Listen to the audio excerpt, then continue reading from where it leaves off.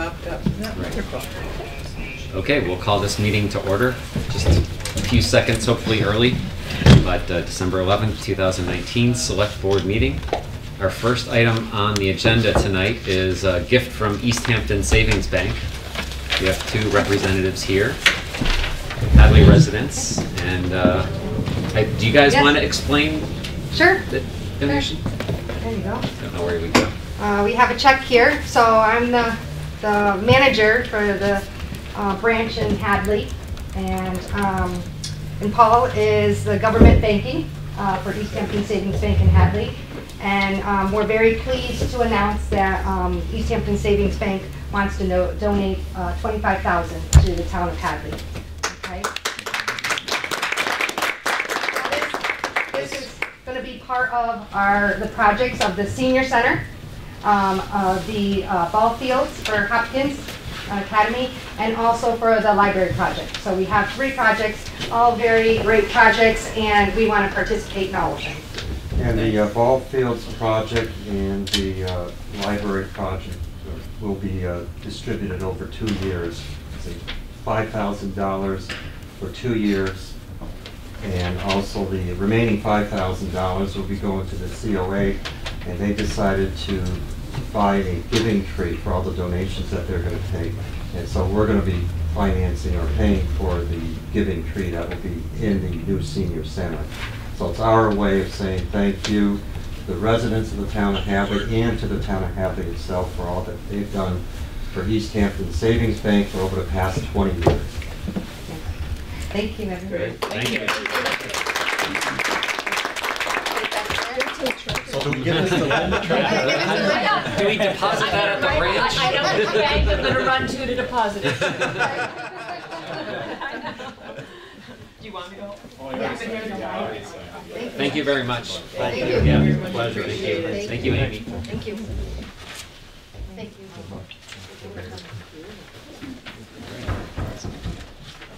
And now we will move into the consent agenda. We have a warrant AP two zero two three V. We have a chapter sixty-one A Barstow, right of first refusal and waive hundred twenty day waiting period. We have completion of probationary period, Scott McCarthy.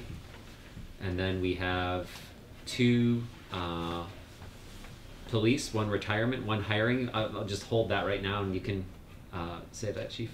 And then we have a memorandum of understanding with the treasurer. May I have a motion? moved. Second? All those in favor? Aye. Aye. Chief, if you want to, uh, Okay. I, uh, I prepared something to read, but I decided that I didn't wanna go that route. Um, I've been friends with Ken for a, a very long time, so I'm just gonna kinda go off the cuff. I figure I'll be able to get through it better that way. Um, Ken has been with, he's been in law enforcement for over thirty years. Um, He came, he went full-time with us in 2011, and um, he was promoted to sergeant in 2016. And um, being in policing um, nowadays is not the way that it was when, when he first started. It's not all it's cracked up to be anymore. Uh, so when I look at someone like Ken, um, who stuck it out for as long as some of our officers have been alive, um, uh, it's impressive, to say the least. Um, Ken is uh, retiring, um, well-deserved retirement. His last workday with us will technically not be until January 3rd. Uh, his last day employed by the town of Hadley will be January 8th. Um, but uh, Kenny likes to go risk life and limb in Florida and play baseball. So um, he's not going to be around for those dates. So we appreciate the board taking this up early. Uh, and we also have his hope, uh, hopeful replacement here uh, as far as the officer position goes. Um, we're going to have trouble filling uh, this the void that he's leaving, um, not just because of you know being a police officer, but also uh, super supervision. Um, as I as I was saying earlier, you know, being a police officer nowadays is, is not, not what it, what it used to be. It's, it's much more difficult. It's, um, it's a job that no one, kind of, no one notices all the good that you do until you screw up one time and then uh, everyone knows. It's very similar to how the officials were in the Patriots game last week. Um, uh, but that's kind of what um, what makes that's how, that I look at it as me being lucky for that part of the job, and people like Mitch, um, we're lucky because we do get to see the good things. Um, unfortunately, they're not publicized, but we get to see uh, people like Ken, you know, and several of our officers um, doing the good that they do in our community. Um, you know, just the calm voice on the phone if it's something, you know, simple as that, or you know, helping a uh, an elderly lady down some icy steps to out to her car, um, like some of our officers did a couple of weeks ago. Uh, so he is going to be missed, and uh, I would respectfully request that the board approve his well-deserved retirement tonight. I'm going to say something a little bit. Try to maintain my composure. I'd like to take this opportunity to thank all of you for letting me serve this community for the last decade.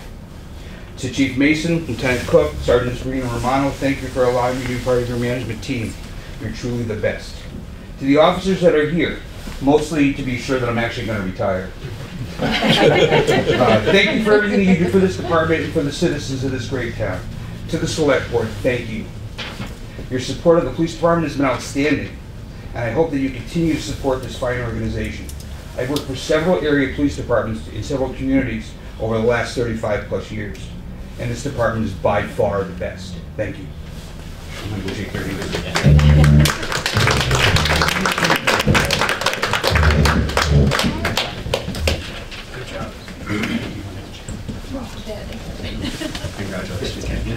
Cry. Don't you cry. Don't you cry. Thank you very much. You very. Then that leaves me open to say a few words also, because you said that, so I'll try to compose myself Okay. also. Um, Having been the representative to the police department, it has been an honor to work with you over the last few years that I have um, had the opportunity to. You um, certainly are a dedicated police officer. We have high integrity for the department, and it's just been a joy to have you working for us for the town of Hadley. Thank you. So thank you very much. Um, I told the uh, gentleman behind you, Captain um, Cartilage. Cartledge, and his sons, I was gonna say, no, we weren't gonna let you retire, but when you work in this line, um, I think everybody, whether it be medical or police, fire, you all deserve to retire at a good time in your life, so I wish you a happy retirement. Thank you very much. And I wish you a better batting average. I can still hit the ball. I told all my, that matters. I told my kids I stopped playing when I couldn't do it anymore. I can still do it. My wife has other ideas. And we hope to see you at the senior center. Oh.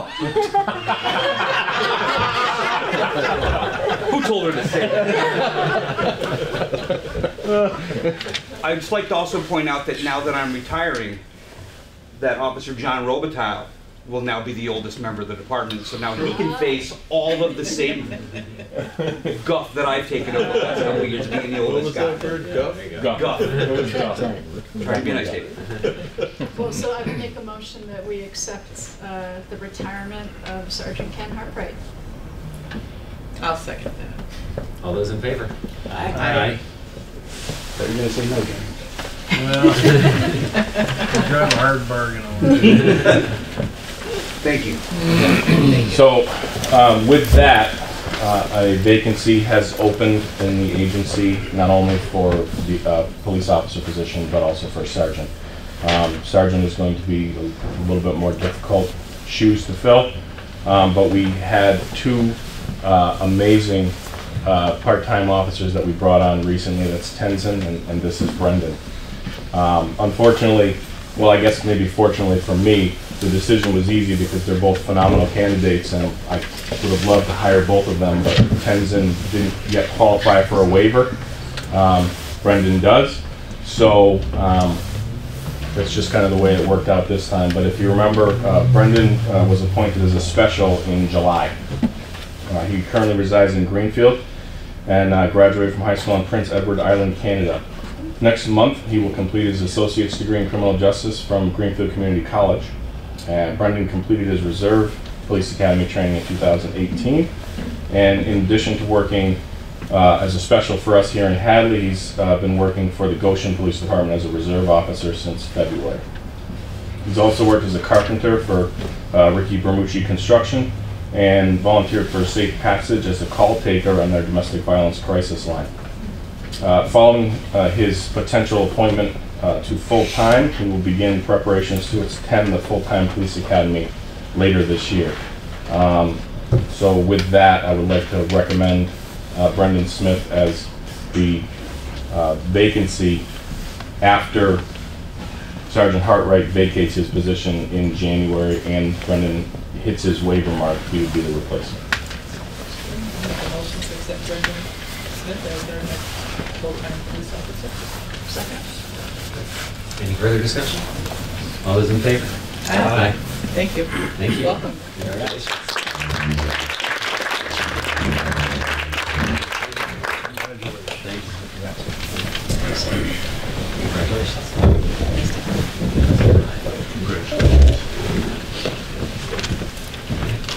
I have executive session, but step out with time. Yeah.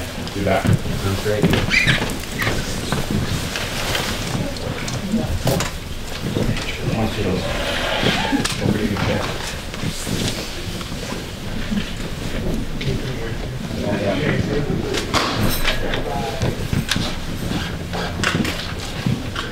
And now we are going to discuss the tri-board meeting, our fiscal year 2021 discussion. Did we do all of these others? So we, yes, we said yes to The everything else consent on the, agenda? on the Yeah, consent yep, we did agenda? all, we did all those. Um, Can Oh, go ahead, what was, was there one you wanted to take back? No, I don't want to take back. Um, You wanted to talk about one? I, I certainly agree. I've heard positive uh, feedback about Scott McCarthy uh, and completing his um, Wait. uh, probationary period. So I wanted to say welcome to him, you know, after he's finished it. Um, he's not here this evening, uh, but I just wanted to step in and say I think. Uh, is this the right time to do that? Maybe. Sure.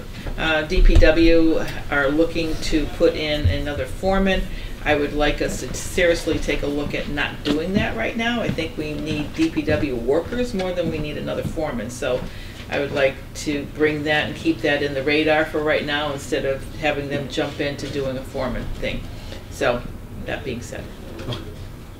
And Scott's at a uh, class up in Greenfield tonight working, Okay. but uh, I did see him today and he's happy to be here.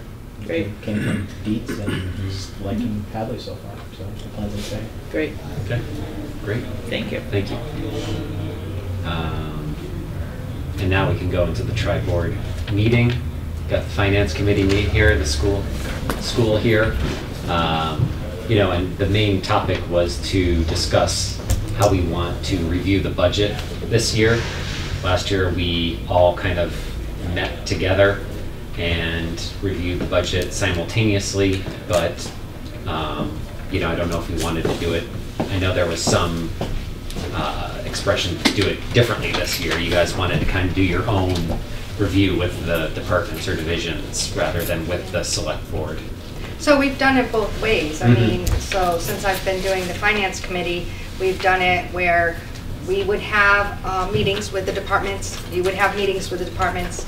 We've done it where just you had us do the meetings, and then if there was something special or there was something um, besides for just the straight um, asks, then, then you would want to know what they were, and you'd have a special uh, meeting for just that.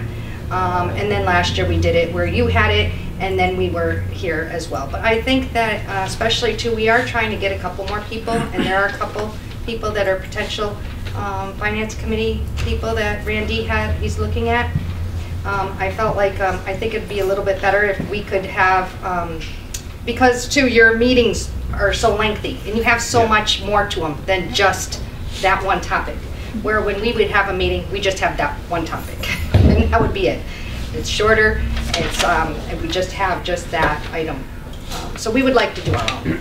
Okay. And- It's your call, it's your, you know, your committee, you know, so So whether or not you want to do it as well, or if you want us just to report back to you on each one, and if there's a problem, you meet with them at that point.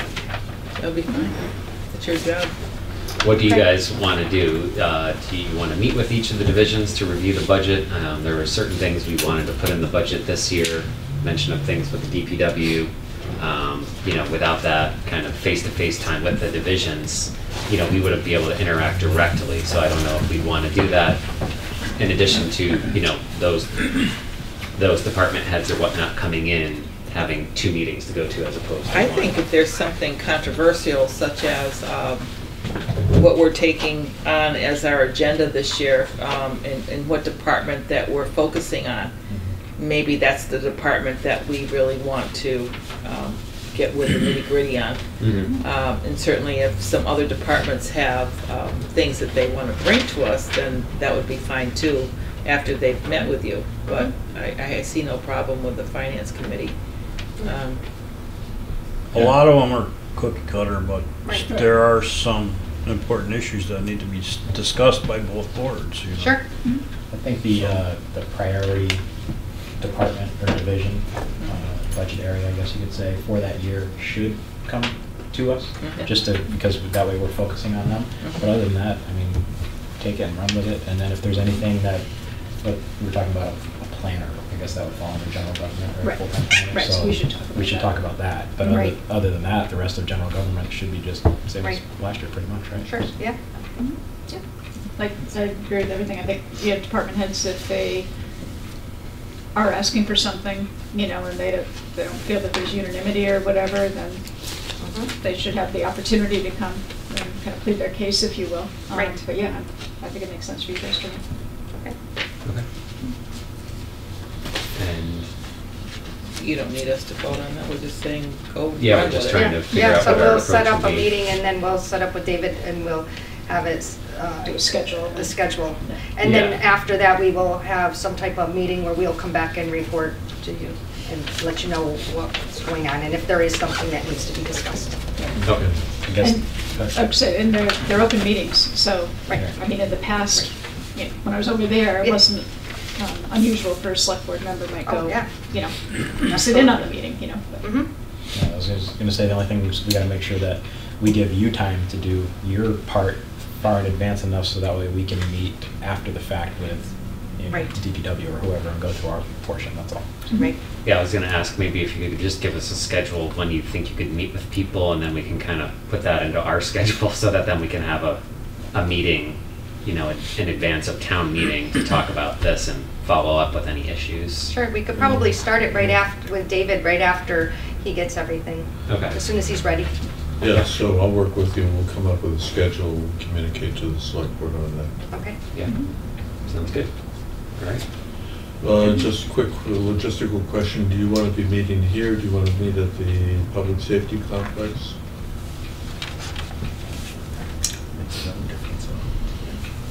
I don't know, but the public safety complex did work well when we did do that. Um, th- There's no, we don't have to worry about if there's a um, conflict. Scheduling. Yeah. Since this is the only room, so. Just schedule, Except for the chief. schedule Yes. through the chiefs. But the chief was always very accommodating. Anytime. Would that be on weekends or would that be during the week? Uh, Unsure yet, but we would talk to you and see what, you know, and, and and if it's not available here, of course, but I, Yeah, I, I I'll- thot it was, I'll work it out, we'll, Or- we'll make the reservations. okay. We're talking months in advance, I'm sure everything is open at this point. You never know. Annie, from a school standpoint, um, I was just going to ask, that when you're scheduling for no other reason than the school committee has to, has to be the starting point, that if I could just weigh in with you and David on what that timeline looks Sure. like on our end. Of course. just- That would be great. Yeah. Um, Yeah, that's no problem, I just want to make sure that, that I get my meetings lined up, so the Oh, yeah, because you committee have isn't several. surprised. Yeah. And anything new on the school front this year that we can expect, or just? Um, no, there's really nothing going on. No, um, there's nothing major. Yeah. Nothing Yeah. major. that you should expect Well, I- of? uh, they did do the complete redo of the chapter seventy program, so. They did, yeah, although that'll be a phase-in over time, and there'll be some benefits to that, and there'll be benefits to the town. The increase has to do with, overall, it's, it's an increase, it's good news. Um, As I point out all, all the time, I am grateful that the town will see additional revenues, and the entire school department is keenly aware of the fact that this town is incredibly generous and funds the school above required contribution. You folks have been very, very good to the schools. We know that and we appreciate it. And so it could translate into additional revenues into the town side. Um, I don't think it will be a windfall. The changes to the formula uh, are not going to result in a windfall for the town of Hadley, Okay, given our size and our demographics. yeah. How's the SBAB going with the locker rooms and things like that? So we like heard that? today from MSBA, we have not been invited in to, um, and school committee, if you're watching, I was going to email you that today. Um, We have not been invited in uh, to this round. However, when I spoke, the last time I spoke with MSBA, they said, nobody gets invited in on the first round. So they always encourage people to try again. That'll be a conversation that I have with school committee, because there are certainly implications for the capital plan. Um, I would want to think seriously about if there is an opportunity to have some of the costs offset through grant funding, I would definitely want us to um, consider that carefully, um, because in, just obviously paying attention to what taxpayers have to pay out of their own pockets. So when's the next opportunity? So it happens about the same time every year. The invitation usually comes, we submitted this application in, I want to say, I worked on it over the summer, and I feel like we submitted it in September and were notified in December if you're invited in. So it's, it only happens once a year. Um, I could be, I don't have the email right in front of me, I could be off on that timeline, but I think they do it at about the same time every year. Okay. So discussing with the, um, just curious if, if discussing with the school committee, are you going to be discussing whether or not you want to go uh, this year at election time to put something on the ballot for the so the had- locker room? We had discussed that as, as an option, but I do want to talk to the school committee about what they would recommend being, um, making the most sense in terms of, of what we move forward with, um, and ask folks to vote for. And I talked to the school committee, and either the school committee would then communicate directly with you folks, or have me come back and, and talk with, um, FinCom and the select board about what they think makes the most sense. And certainly hear your perspective as well.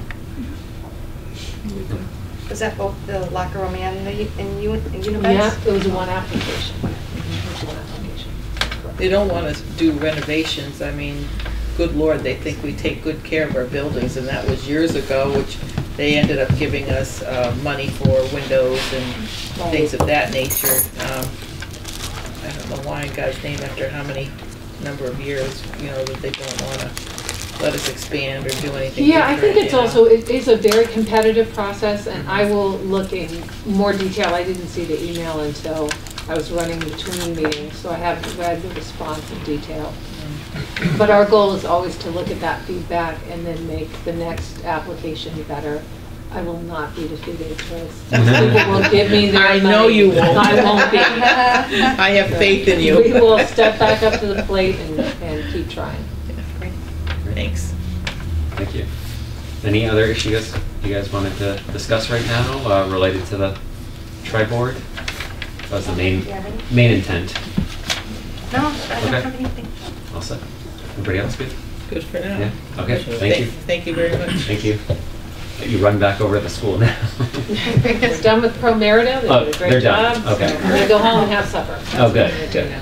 Thank you. Um, Since we have uh, people here from both CPA and municipal building, it looks like, uh, wanted to uh, kind of collectively have a meeting to discuss the, the uh, possible use of the Goodwin Memorial Library for future municipal use. And uh, I don't see all of Are are you the only representative, Dave? I guess. I didn't know if anybody else was coming. Well, Did Tim- you? Tim said he was gonna try. Oh, he was gonna try? Yeah. Okay. I can wait a little bit if we think. Here's e- Tim. Oh, here he is, right here. Here he is. Okay. I, I was actually gonna ask you guys to kind of start. You guys met with the planning board last night? or night, Did yeah. you? And what, what was And- and of the report Rec. from that? Bill's in the building. Was he coming to the meeting? I think he was headed home. Yeah. Oh, was he? Yeah, he's here for another meeting, yeah. Oh. Well, uh, Park and Rec and Planning Board both um, seem like they'd be happy to go there Mhm. because of more space. The only requirement that Planning Board wanted is where their Goodwin? office is. Yeah. They needed to have their storage for all their plans, files in their office, not like three locations, because we're also thinking you'd need a meeting room over there for planning board, or- and that meeting room would also um, serve as an activity room for Park and Rec. Uh, That was the conversation last night. And then they also brought up, um, maybe Conservation Commission could be there as well. Yeah, did they, did they talk about actual repurposing of the building at all and, and, you know, applicability to zoning bylaws and that kind of thing? Well, we talked about putting in, instead of, um, on the second floor, sectioning it off, say with two by fours, maybe uh, cubicles. Mm-hmm. Um, And then he said we'd get a- around, um, the seismic requirements. right. Regs. on that. And then, um, the issue is no bathroom on the first floor. Um, so we'd either have to put in a temporary bathroom or go with plans that were drawn up years ago with an elevator on the north side with bathrooms to kind of be a- an addition. That way it would service all three floors and have handicap accessibility to all three floors and use it as need be. But the um, electrical needs to be updated. You got knob and tube in there, and the ceiling on the first floor is uh, falling down. And uh, that needs to be taken care of before people move in. So there is money to be spent either way, but it could be Phase. somewhat a little or a lot and get it done and be ready to go. Is the floor okay up on the third, second floor? We use Was was the floor okay? Yeah, it's structurally sound. It can take the loads. It- The problem is the ceiling's loose Yeah. from the, from the floor system. So Mhm. we're, we're trying to keep the use uh, to a minimum so we don't compromise that ceiling. At some point, you know, this is a good time to do it in two phases. You know, get, get, s- I think we, we had a really, really good uh, meeting last night. Some really good thoughts and suggestions and who could go in there and where they can go. And, and we can probably do it in, in two phases if we Mhm. get the money for that second phase. Mhm.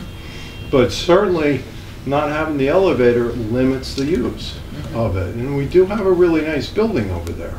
And it'd be, it'd be sad if we can't utilize it to its best. And the, we have to have some type of accessibility on it. But, um, And we had talked, can- we talked two weeks ago or sometime around there about possibly doing like a, a town meeting space in that main portion of the library. Yeah. Was that still discussed last, Yeah, last night or was that, yeah? Yeah, the whole I thought process was to um, have the, the main floor Mhm. as a meeting space for everybody. And it could be um, used for Park and Rec too, for some of their uses. So the, the, the main discussion was, well, who would function better on what floor and how, how could we utilize it the best? Certainly, um, really, it kind of changed Yeah. throughout the, the discussion because of um, planning board. They, they want to try to keep all their plans together Mhm. with them.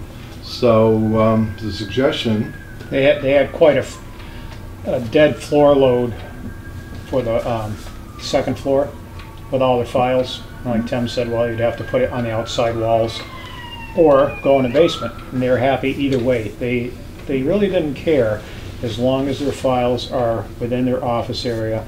And then the first floor could be their meeting space. Shared and with there's Rec. enough room down there too to allow Jenny, Park and Rec, to utilize some of that space too, and then she can have an office upstairs. Maybe, maybe we can even have um, conservation over there. We haven't talked to conservation, but those are the possibilities. Well, I think it's a good idea to try to get them over there since they're not full-time here and those Mhm. departments that are full-time that need to be in town hall probably be a better use of this building versus part-time. Well, and they also, just from a workflow standpoint, makes an awful lot of sense. So are we gonna have to move TV five again? No. They're gonna stay, right? Okay. No, TV5's We didn't very mention happy that, where so- they're at. Well, good, good, but nobody mentioned it, so that's why I'm asking. It's good- It's good that you brought it up, because, but, Actually, I went to one of their meetings and they were, they were pretty happy with where they Good. were, so. Yeah, well, well, the, the good one is, uh, the old library is under renovation for knob and tube and uh, ADA accessibility and all the other things that you talked about. Are we going to have to move um, Hadley Media out of there? no, we felt that we could keep them there while most of the renovations are being done. Okay, uh, because of the thought process of uh, creating the offices upstairs, it's not actual building, it's going to be a modular system. And we talked about security there, how we can keep security between the different offices. So everybody was very comfortable with a modular type of office system um, and partitioning it off. And then, you know, so it really probably was, in my opinion, in the 30 years I've been here, probably one of the best meetings we ever had. Yeah. It was shocking. Everything just worked, huh? Yeah. For the, uh, Sounds good. For the basement, I know that Park and Rec needs storage, and we need climate-controlled record storage for town hall, because we're running out of space here. So, just in the plans, things to think about, just the secure storage area. And that, and, and we all felt that that could be all accommodated over there. Um, so our thought process is to get our uh, Larry Tuttle from Architectural Insights to come on over, evaluate the building, um, talk to the different departments, and put their needs together and get something on paper, and then we can present it to you. And you'll have some budget figures, so we can have phase one and phase two. And then we make the decision on how far we want to go. But it would be a shame if we can't get full accessibility over there. And Bill Dwyer actually brought up a very valid point. You know, you want to make accessibility, even, even though that they're, go- they have the ability to go down the basement right now, maybe at some point, some, one of the members might not be able to do that. So do you want to limit that?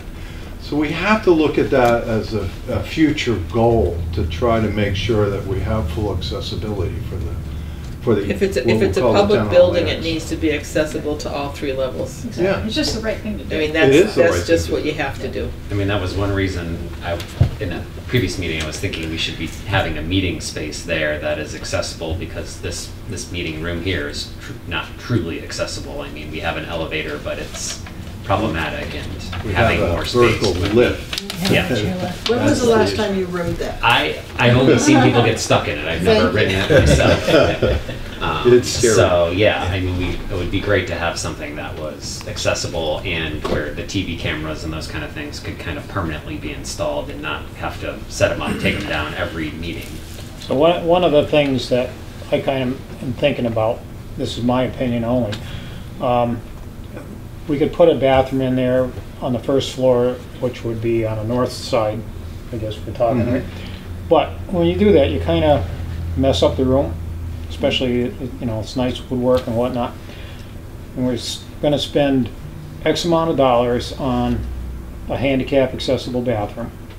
And then in, what, two, five, ten years down the road, you're gonna go and put in an, a real elevator with real bathrooms, and there's money thrown down the, basically down the drain. So, you know, um, I'm pretty conservative, but I don't wanna see my taxes go up, but I'd rather do it once, do it right, versus, uh, doing it twice. So it, it'd be good to think about what we really need for the town, and, uh, we gotta do it, we gotta bite the bullet, I guess, at some point. And it'd still be a few years down the road by the time you get funding and design and all. And it's not gonna be Yeah, any it's- cheaper. No, well, true. I I was going to say too, that's a good lead in to CPA being here and kind of consulting with you guys and seeing what is the best path to move forward. You know, do you see this as a CPA eligible project? Would it be good to do it in phases, a design phase and leading into more of a construction phase? Kind of how, how could, how could we leverage CPA to work on a project like this, or is it possible? I don't know. It, in- in it, it's, de- it's definitely possible. Yeah. It depends, you know, on what the work is gonna be. Uh, certainly, the planning aspect is CPA eligible, Mhm. you know, the architectural study. Uh, CPA money can be used for that, for, you know, for seed money. Um, then the actual construction, it depends what you're doing. You know, if you're rehabilitating, if you're restoring, or if you're preserving, then CPA money can be used. If you're repurposing, if you're adding, if you're, I don't know what, you know, putting up new ceilings, then that's probably not eligible. But ADA compliance is eligible, right? I'm not I'm sure. I I think That- that got might- it that- explicit. Well, it's for public housing, yes, but for public buildings, I don't know. Or like the wiring upgrades as far as preserving the building for safety, life safety issues, how about that? Uh, I, I don't know, I'd have to check that out with the coalition, but I think probably not. Well, didn't we already get CPA money to do the electrical for the library? Why did we get back? Uh, that was given back. Yeah, right, but we We got it. it got first approved in the first Yeah, place. in the first It place. was eligible. Right, right, so, so I'm not sure. Maybe You know, these are all- just some of all- the things that you need to, you know, if we make a list for you to have you check into to see if we can. Right, right, all I can do is work, work with the people on their applications and And check have- with Boston to see if they're permitted and work through the process. And have you folks written any grants for some, for a project like this? CPA, Matching funds, you mean? matching funds type thing? I'm not sure I understand your question. Well, if, if we took the CPA money, X amount of dollars towards this project, and we, we were to write a grant for this project, to- to do it all at once, not piecemeal and do it tw- twice, you know? If, if, at- if at all possible to get any grant money for this, historical preservation or conservation? Um, well, the pots of money are different and the requirements are different. I mean, certainly you can use grant money and CPA money together Yeah. on the same project. I don't, I can't recall us ever doing it, but I, I can't imagine that that's not, uh, that's, possible. that's not permitted. Yeah, we did it with the uh, cemeteries actually 10 years ago. Right, right. Linda, can we borrow against the CPA money for projects? Yes, we Uh, can. Yeah, you can borrow, you can borrow against the town surcharge portion, Mm-hmm. and, but not the state portion. Eighty percent, there's a percentage, like eighty percent or something. Well, we're putting in more than the state is now, so, correct. Uh, that will change, Got it back. um, in fiscal twenty-one. It's gonna change back. Well, more. it, it, well, the state's is gonna increase, I don't know, I don't know what the relative It was, amounts, it but had it's waned gone- down. Right. It had gone down, and uh, actually, this, the one we just received was actually a little lower than last year, but Mhm. it is supposed to go up, uh, next year. Okay.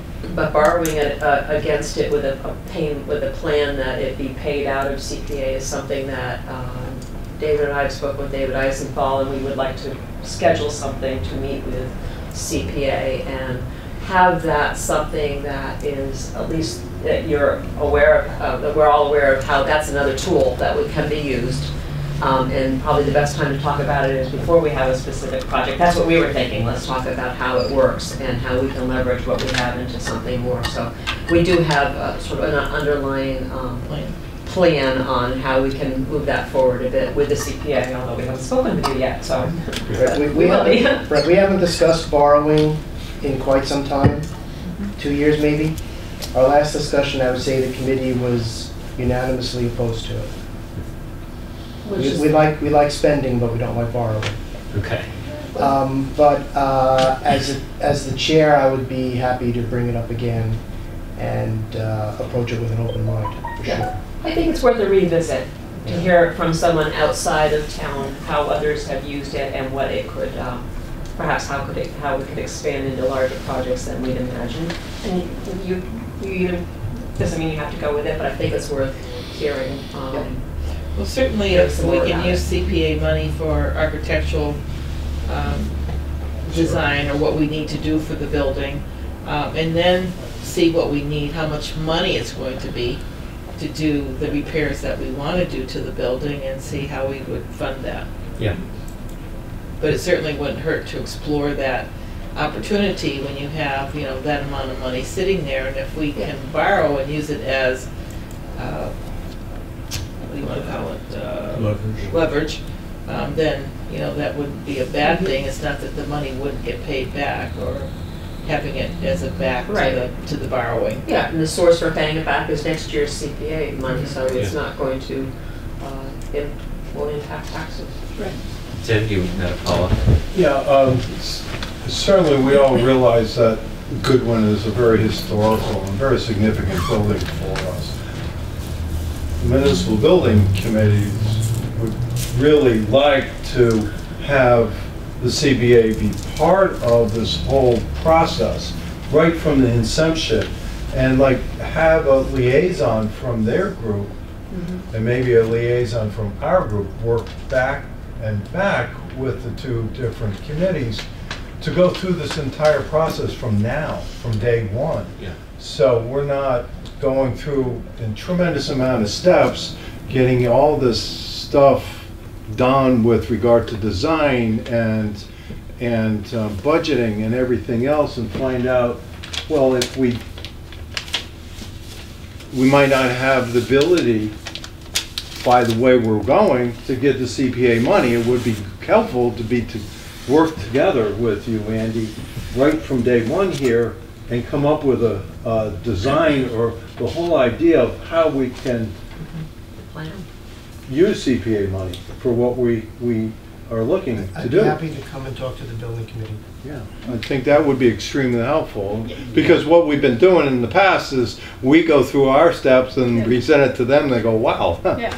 wish we knew about this. Right. All I know is, I, I I don't want to happen to the Goodwin what happened to Russell School, where we can't make a decision Yeah. and nobody wants to here. chip in on the money or kind of think outside of the, outside the box to get this done, and then have another thirty million dollar problem on our hands. Mhm. So I think the town needs the space, and we should make use of the building while it's still in good condition.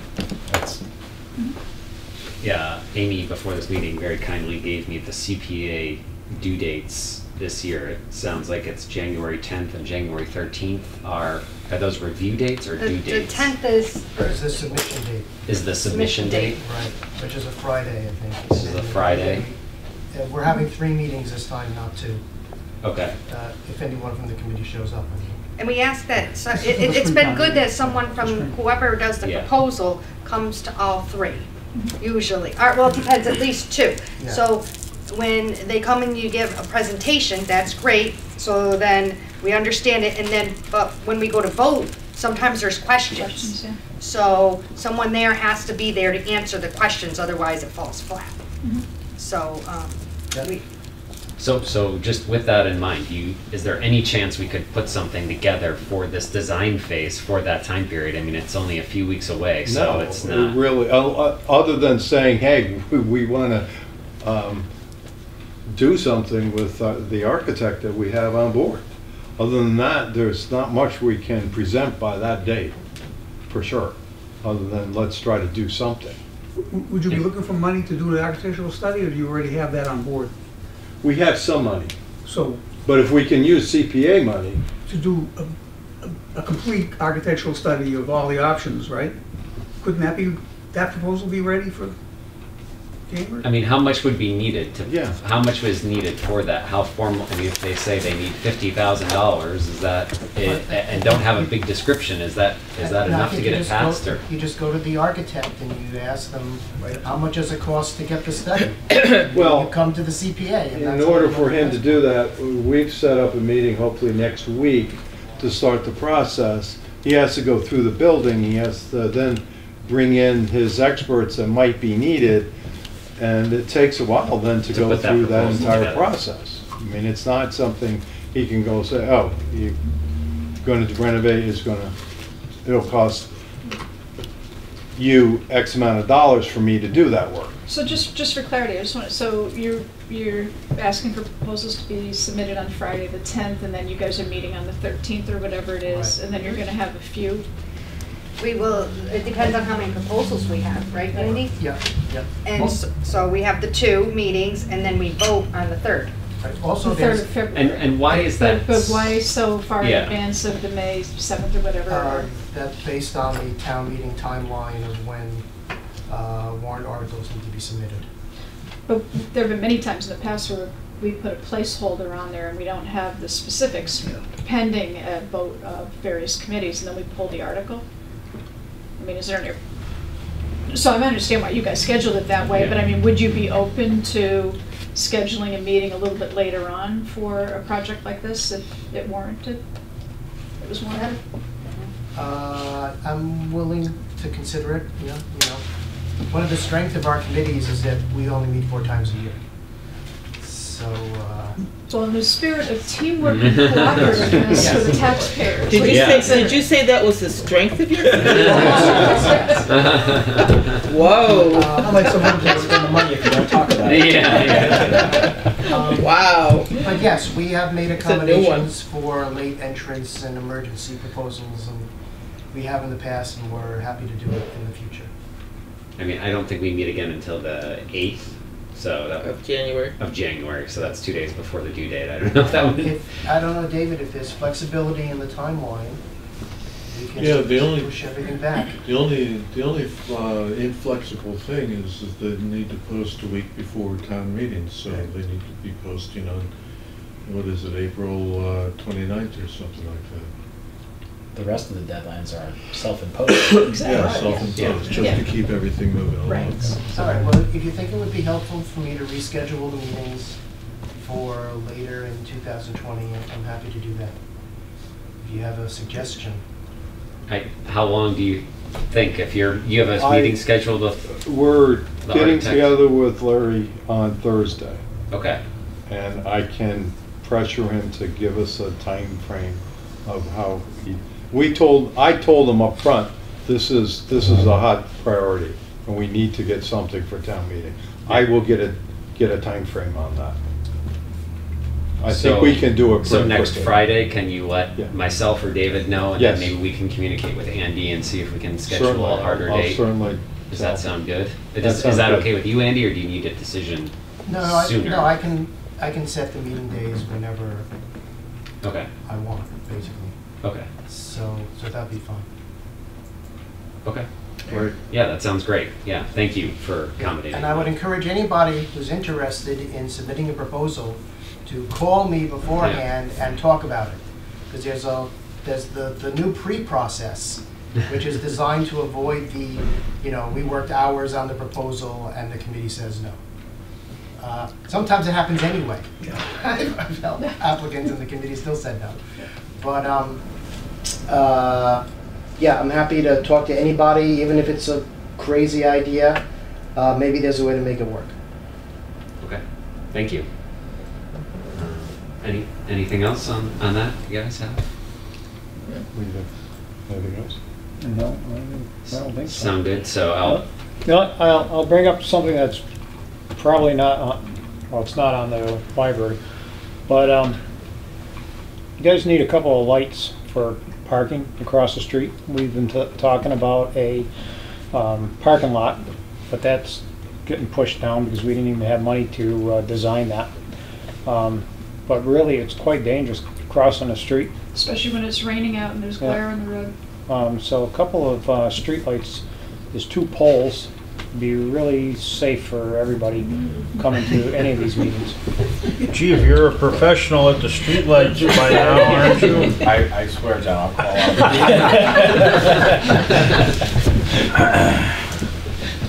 I guess we'll get Eversource. I think we can look into it.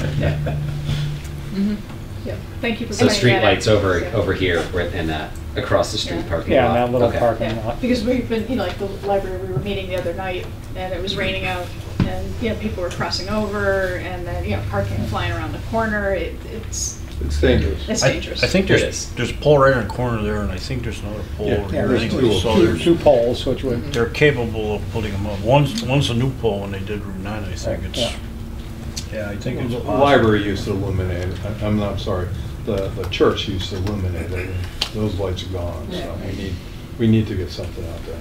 You guys That's what I'm the vote on? Call I'll Gary. Call Eversource and uh, uh, Chris Okafor this week, but it's probably not going to get in until After you know, Christmas, several yeah. months. No, I'll make a motion that we pursue um, adequate lighting for the designated town parking across the street. Second. Uh, just a question, do we have to have any kind of hearing to put up a street light like that, or should we? Well, this is just to start the process, and then we would But we don't have any houses that are close by that would really, it would- it would There's just that one that's for sale, Yeah. really, and on the corner.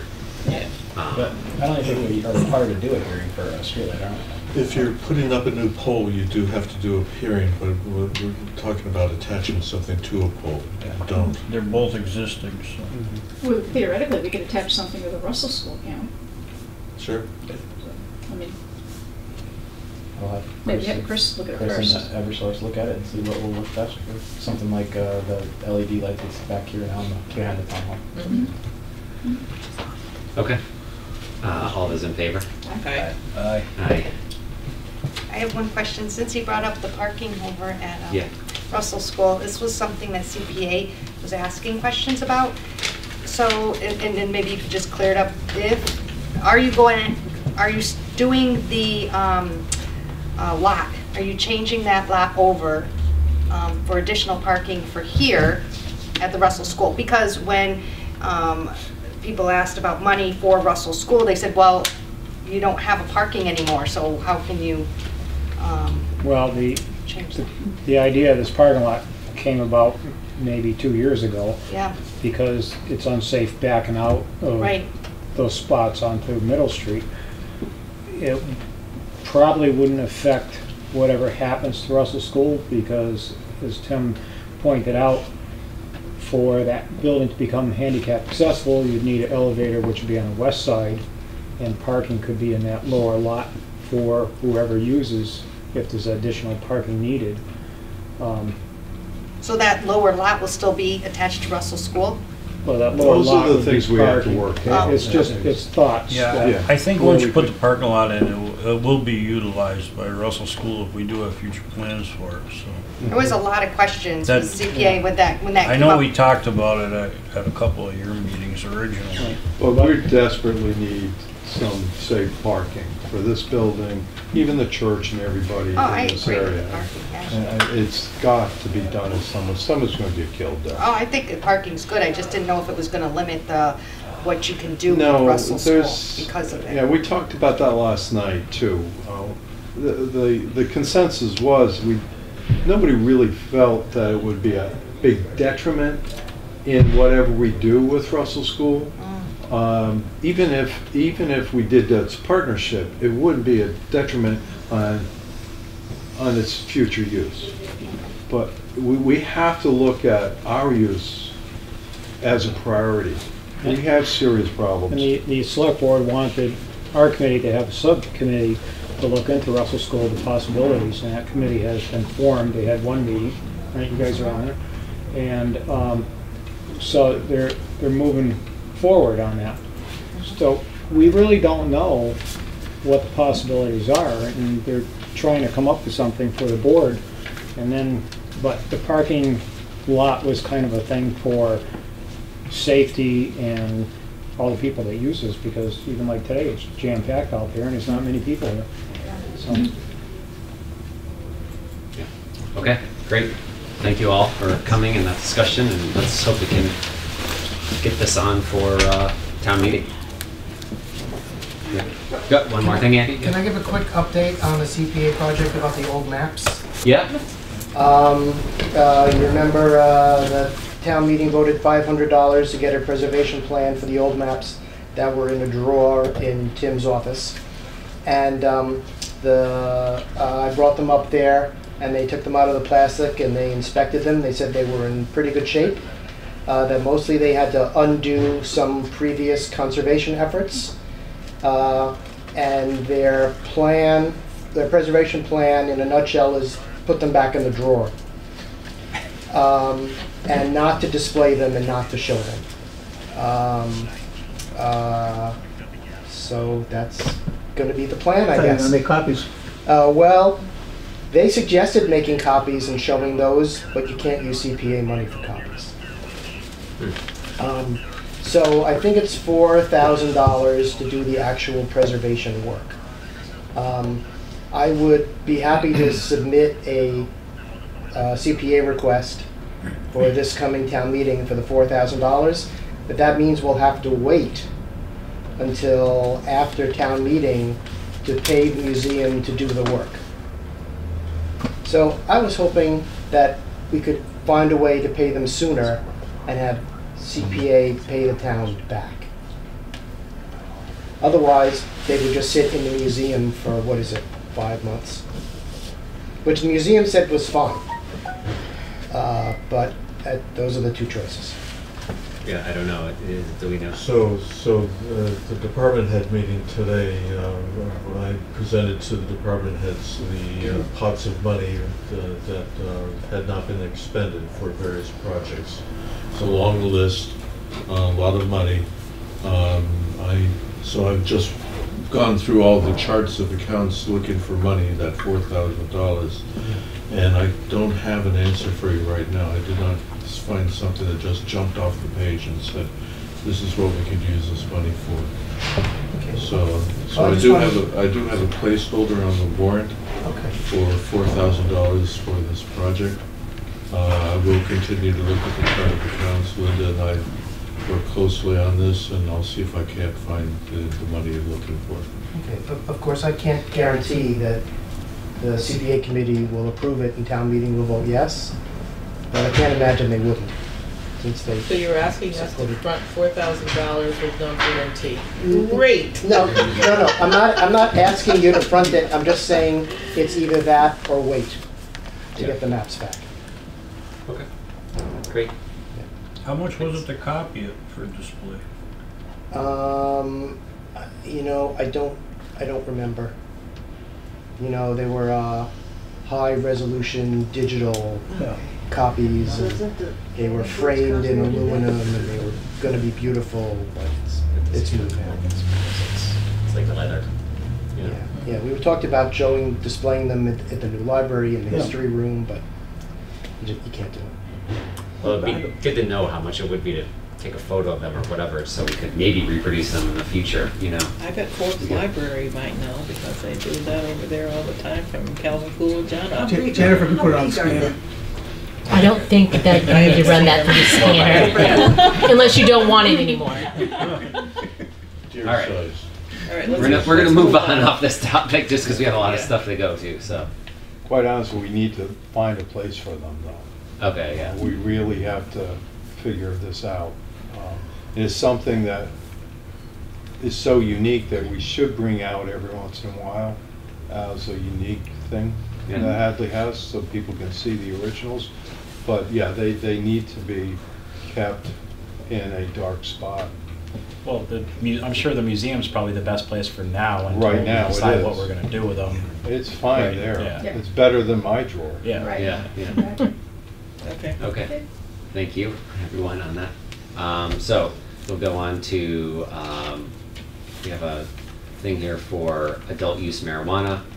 Uh, earlier in the year, we agreed to send out another request for a proposal.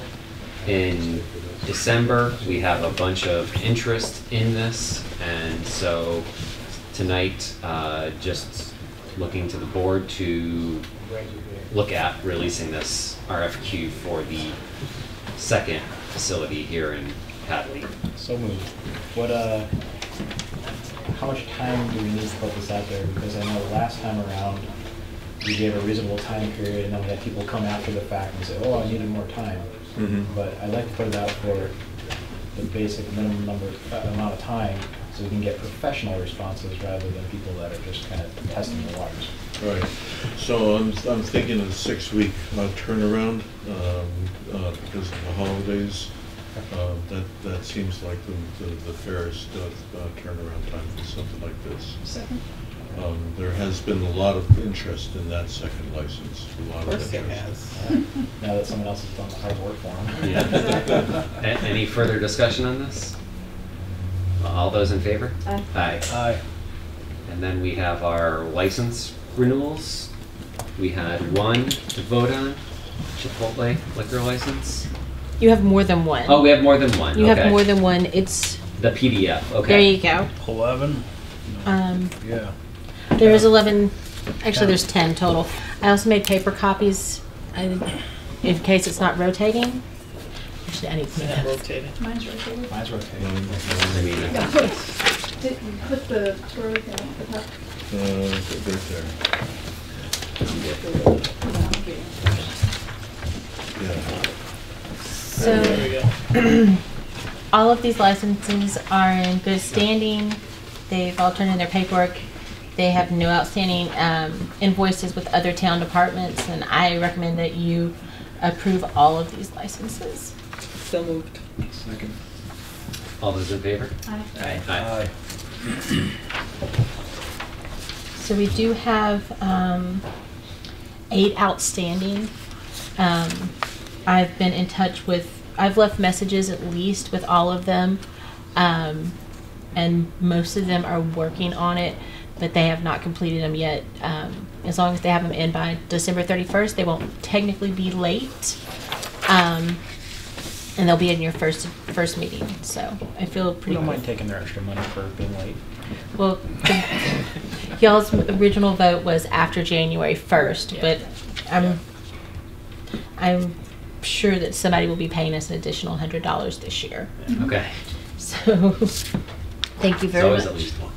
Always. All right, then we had uh, accounting services. So uh, the treasurer and town administrator have been work. Did she just step out for a She minute? just stepped out for a second. They don't sell any liquor. All right. I know that. We can go to sidewalk clearing I've been in told. case she Yeah, comes back. I'll talk to you about it. Uh, select board clarify sidewalk clearing in, in the state layout. Current town bylaws governing snow and ice and sidewalks are found at this web link. So I think we were just bringing this back up because last week this was a point of discussion. And forget if we were gonna send out letters or what we were gonna do. I don't know, was there any complaints? I had a phone call, um, which I'm in agreement. Um, you really cannot expect the homeowners, business people from West Street to the bridge to actually plow their sidewalks after the uh, DOT plows Route 9 and pushes all the snow from the center of the line up onto both of their sidewalks. And they need to probably get a plow truck on the sidewalks to take it off of there because Can't it even do freezes. Can't do it. You just can't do it. You I mean, know. I saw the town loader working out there for almost a full day moving that snow You around, can't do so- it. I mean, I- all I'm, all I'm saying is I think that the businesses in the center of town, because that's where we take care of, should not allow their plowing people to push the snow onto the sidewalks and just keep it within that their, was the point I'm in their trying- own yards. E- Not even there, I mean, if they're putting it on the sidewalks, either the owners or the contractor Mhm. should be ticketed for it. Yeah. I, I mean, that's, After Clear. you've cleared it, yes, absolutely. I mean, I've been plowing Hopkins in the elementary school and this lot right here, and I push everything in, nothing stays out by the road. Mhm. You know, it's just, that's, the people don't know how to plow. But I don't think people on Route 9 should be responsible for Yeah. the state putting snow on those sidewalks. I agree. I, um, the It's a only, few more passes, it takes a few more minutes, but there's no reason why they can't clean it up and push it all in on their property. the one complaint I had, uh, that I brought to David's attention was actually my own complaint of PVTA riders having to stand in the middle of Route nine because of mm-hmm. the fact that PVTA did not manage to clear a single bus stop from the bridge to the Amherst line. Mm-hmm. And we're talking five, six days, basically they let it melt. They were on a couple channels on the news, they don't clean any of it Yeah, anyway. even though they were in here last time asking for additional stops and promising to maintain their stops and everything, and as usual, they haven't done a single thing to maintain their stops. So something to keep in mind next time they come here and ask us for something. You're It's getting to be a huge liability too. It's a liability. Clearing that. But we don't own it, they do. Well, I saw somebody trying to go from the sidewalk, trying to get into the bus, fell flat on their face right in front of the bus because they tripped in, in the snowbanks. Sure. Right. Trying to get onto the bus in time. I mean, that's, it was Yeah. nuts. No, that's PVTA, so they own it. They have. Well, yeah, but that's also the DOT for not DOT. clearing Route 9. I mean, it's Right. their responsibility for the sidewalks. Yeah, they're responsible for the sidewalks, but PVTA is responsible for their shelters and the actual bus stops of maintaining them and clearing them. They actually have a maintenance, it's a, it's an old retired small bus that they have maintenance guys go around and do repairs and things like that. But they just, they're gone during the winter, so. Well, can we reach out to PVTA and Yeah, when I received uh, your, your complaint, I reached out to them and made sure that that was in writing. Uh, But it sounds like we need to follow up with, uh, with them. They just don't seem to have performed. Okay. Anything else on that? Any votes or anything we want to take or motions? I mean, there's not much So if you without want writing a to, if you want to do a fine, your, your local bylaw right now is underpowered. It's not going to do the job. It's, so we would, uh, if we want to get to a situation where we're finding people or businesses, um, we need to bring something to town meeting. So can we send a strongly worded letter in the meantime to those that are blocking the sidewalks here by the center of town? Sure. A reminder, yeah, a reminder to most of the businesses. So you're talking about like Dunkin' Donuts? and- Yeah. And the basic gist of that is just please don't plow your snow into the sidewalk. Yeah. Right, yeah. And maybe for a town meeting, we, if, if they don't comply for the rest of the winter, maybe that's something we need to approach. Uh, Along with that one complaint, I just had one more from here to the post office, but there was only one, one person that walks to the post office too, so. But You mean that's, here from Town Hall? no, from the, uh, the sidewalk that goes from the Middle Street to Library. East Street. You- Did you just say only one person walks? No, only one person complained. Oh, there's only one problem. Like, how would you know? I'm sure, I'm sure I will get more calls after this meeting, but I have one complaint, somebody does walk to the post office. Sure. Down the sidewalk from Middle Street to East Street. Right, Yeah. and they couldn't get through. Uh, and that's off on the shoulder, there's a buffer between the mm-hmm. road and the sidewalk there, where we've, we've done in the past, so. We used to plow, plow to East Street. We used to plow all the way to Spruce Hill. Mm-hmm. The sidewalk goes all the way to Spruce Hill. Hmm. Well, I will say though, surprising after two winters now of not doing the sidewalks on Route nine, other than a few complaints every year. Yeah. Typically, they're by the same people that are affected and PVTA riders and, and people that tend to run. There hasn't been very many complaints about it. Actually, I noticed some of the people that have bought property off some of the older folks in town have actually snow blowed and maintained their sidewalk in front of their property now that were never doing it before down Route nine along with that, from West Street to the bridge, so. There's a few parcels that are, are cleaned up, so. Yeah. Okay. Now we can go back to uh, accounting services. Treasurer, administrator have been working on uh, PVPC to join our the regional accounting program. Uh, Do you guys want to give us an update where you're at right now? So, so I think things are in a good place right now. Uh, I had hoped to have uh, uh, signature-ready documents in front of you tonight. That's not going to happen. Um, So we have a plan to go with uh, the Pioneer Valley Planning Commission's regional accounting service through Eric Kinshirf from Sagamore Beach. Um, We are negotiating the scope of work with Mr. Kinshirf as well as the price. Um, And uh, we still need to set up a date for that uh, negotiation. Yes. Uh, Mr. Kinshirf cannot start until March 2nd, so to make that bridge from now until Ma- March 2nd, as well as to provide backup, uh, we've uh, talked to Mary Erickson who uh, would like to be a vendor to the town to do the routine accounting. Uh, We have a price per hour. Uh, We're going to put together the scope of services and have that, uh, that uh, ready for your signatures. Um, Because you don't have another meeting in December, I would like, I would ask the board to authorize the chair to sign the- the two uh, agreements with the understanding that this would come back at your January 8th meeting to be ratified. So moved. Second. Well, before we do that, did we get certified free cash yet? We have not certified free Oh, my cash. God. We It's at have- the end of the year. So we, we have uh, had uh, Mary Erickson and uh, Susan Gorlowski today reconcile the CPA uh, and real estate issues. So I think that was the last piece that needed to, to happen. Did they reconcile it? I have not had a chance to check in with them because I was in that meeting on the affordable Yeah. housing, so I will follow up on that. I did talk to Susan, she felt that they were very close and they were gonna be able to wrap up, so we'll take that up again tomorrow.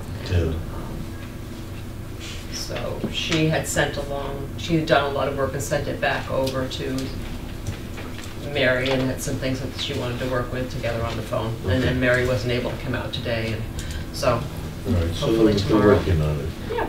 it's- Can you set up a flare or something from Yeah. town hall and Yeah. Certification? Chief, would you let, get a- let us do a firework here at town hall when that happens? Fireworks? Yeah. You gotta ask the fire chief for that. That's not my jurisdiction. boy, you're Way to point the finger. We've already had the fireworks. Let's keep the We're looking flames for it to to calm minimum. down. Uh, Okay, all, any further discussion on that? All those in favor? Aye. Thank you. One of the things, that just a quick backup though on the sidewalk thing. D- No, but it hasn't to do with sidewalks, it has to do with your fire hydrants.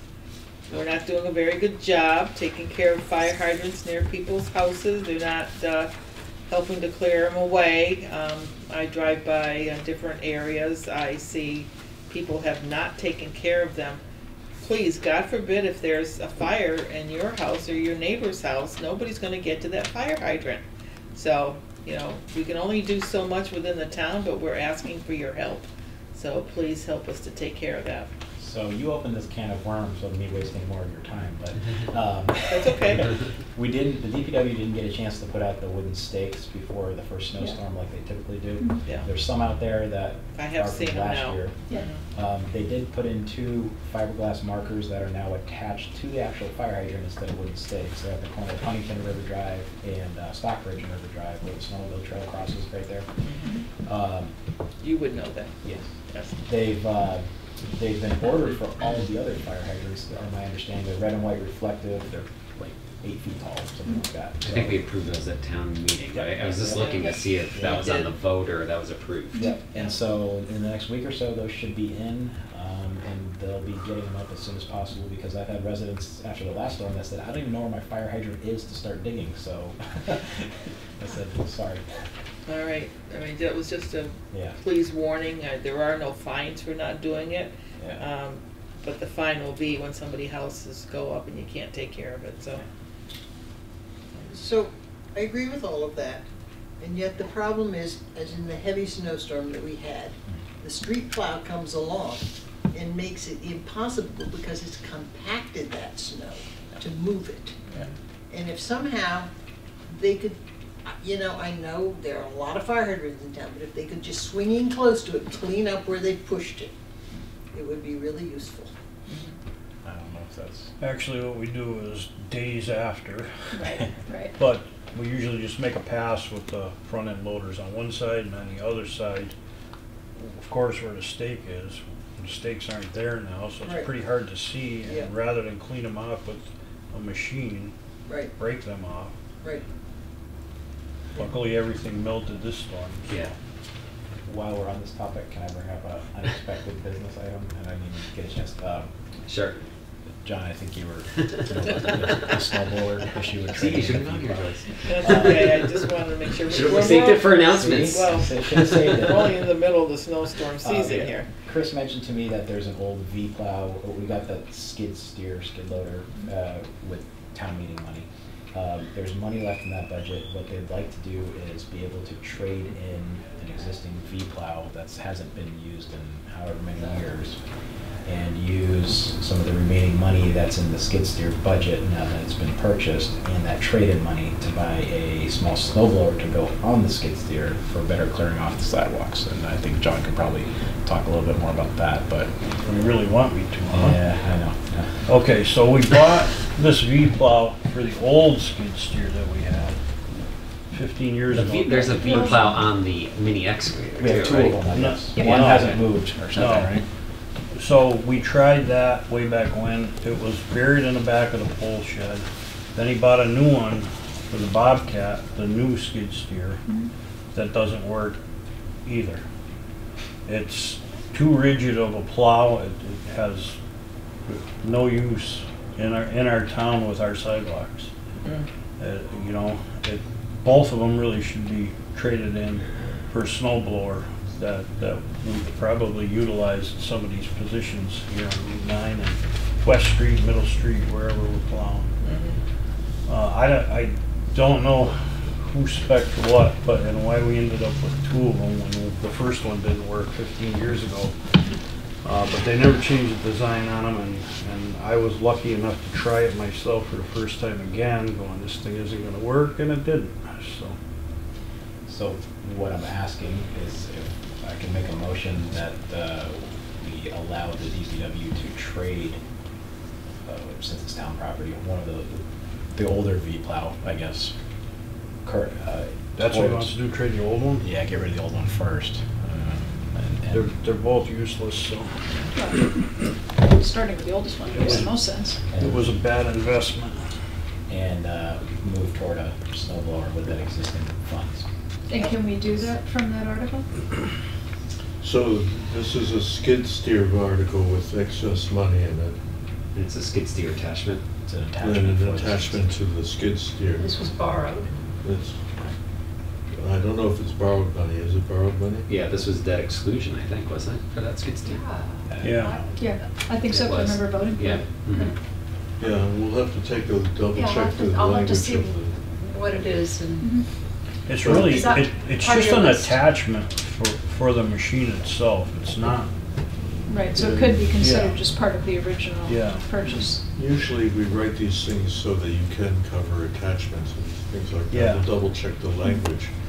Uh, part of that motion should declare the uh, V plow surplus property. Okay, I'll make a motion that we declare the old V plow surplus property so that we can be traded, and that if okay with the treasurer and uh, council, that we use the remaining money toward the snow blower. Second.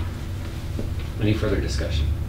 All those in favor? Aye. Aye. I, Okay. Joyce, you started it. Well, well, you know, it's- we're, here we are at the end of December, so we're, we have a much longer, another part of winter coming, so. we, uh, originally, when we were getting surplus equipment, yet way back when, uh, I ended up getting a couple of, uh, machines with snow blowers from MIT at one time. Yeah, uh, for like a hundred dollars or something, we had to go pick them up.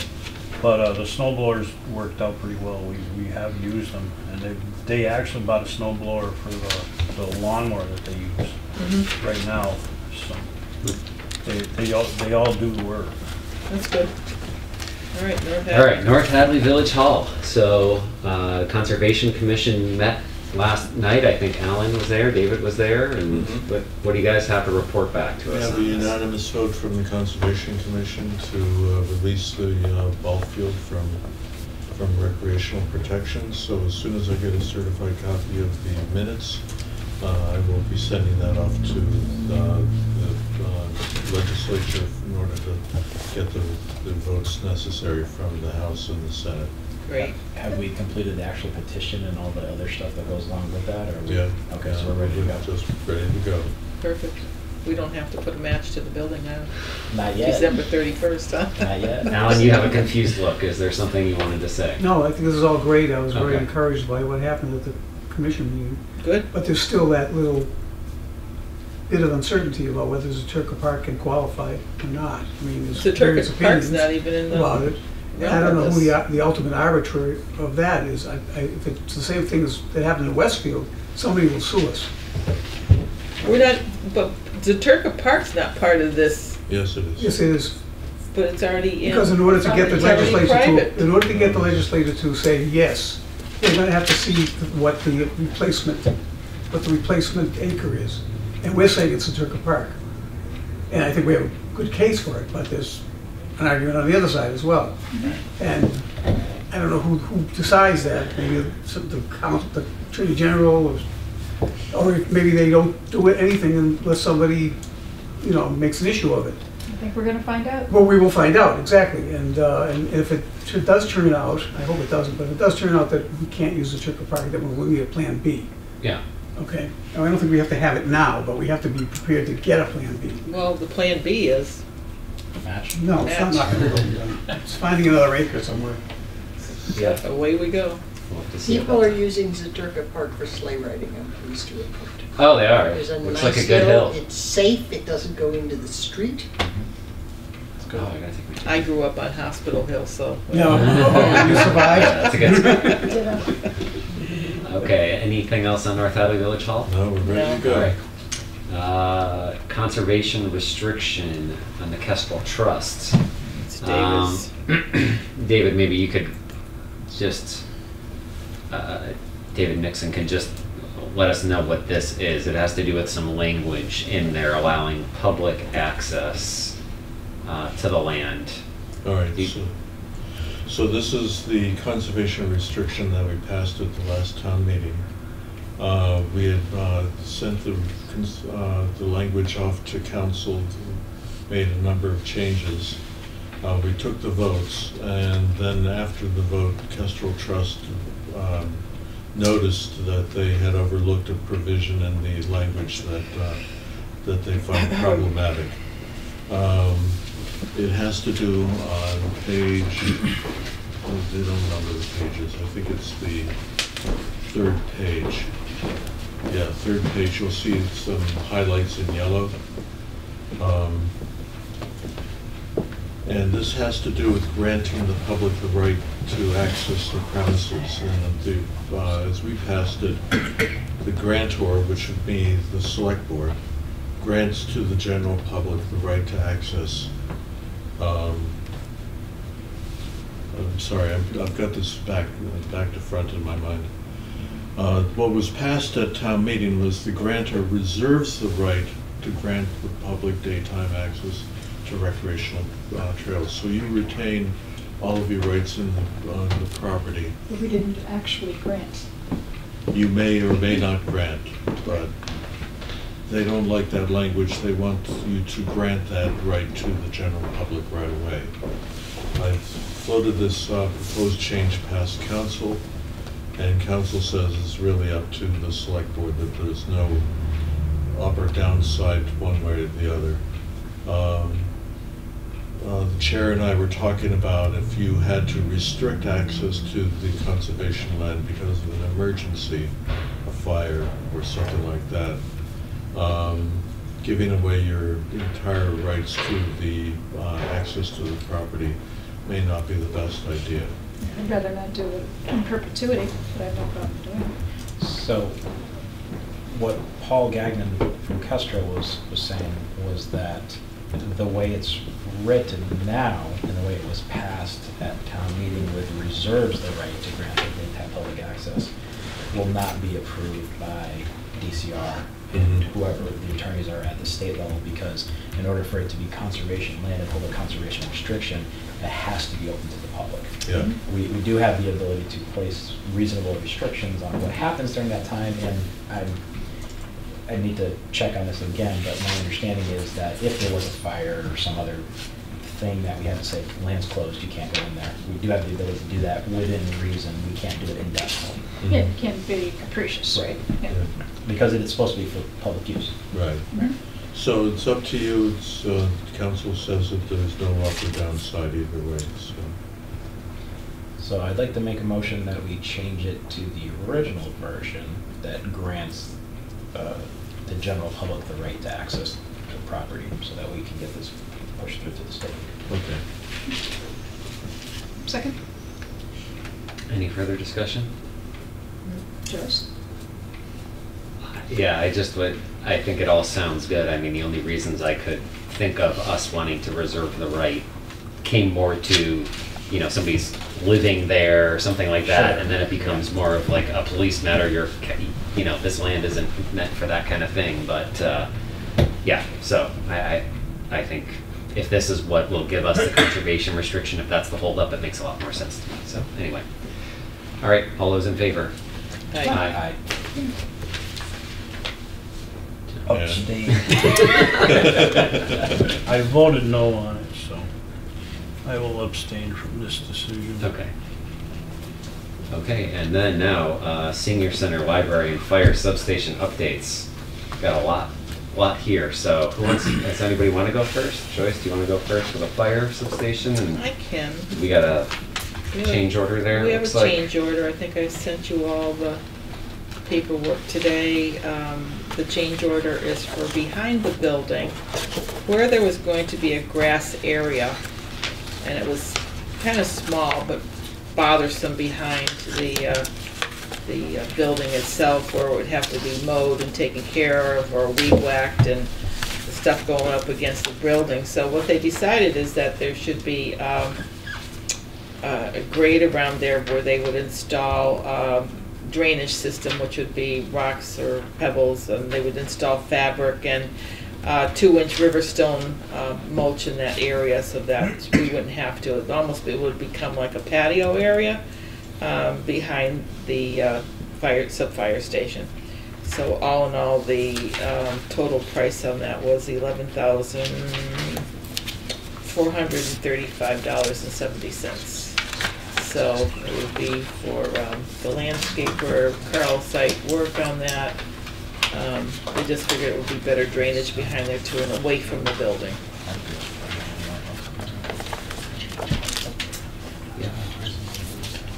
So moved. Second. Uh, any further discussion on that? All So- those in. So oh, this is for drainage, it's not a patio. No, but they're making it an area that could be used if you wanted to put a picnic table there. But I mean, instead of putting grass in that area and having to think where, you know, how it goes in between the buildings mm-hmm. over here, over at the old, you know, the other fire station, you got all that stuff going up against the building, well, you're not gonna have that behind this building, so. They it's gonna be- actually ended up stoning that in the back of the Yeah. existing police and fire station. Yeah, so Because that of makes a lot that more sense to problem. do that. Yep. Okay. All those in favor? Aye. Aye. So we've moved along, we've, um, I think one of the things that we looked at last night also was, is that, uh, the comments were made about leaving a lot of this building open to, uh, weather.